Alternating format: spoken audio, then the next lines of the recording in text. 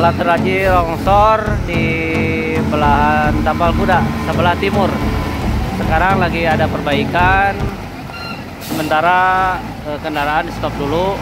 Longsor terjadi di jalur arus balik selatan Jabar, yakni jalur Singaparna, tepatnya di Kampung Danu, Desa Kutawaringin, Kecamatan Salawu, Kabupaten Tasikmalaya, Senin, tanggal 24 April tahun 2023 malam.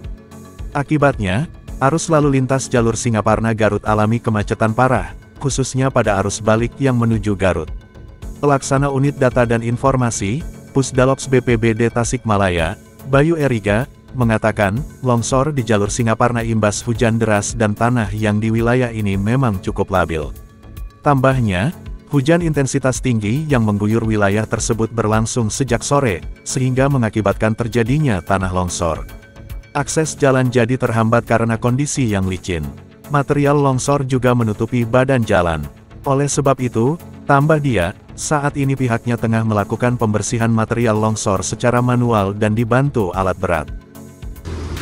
Assalamualaikum warahmatullahi wabarakatuh. Selamat malam, mohon izin melaporkan komandan. Terjadi longsor di sebelum Tapak.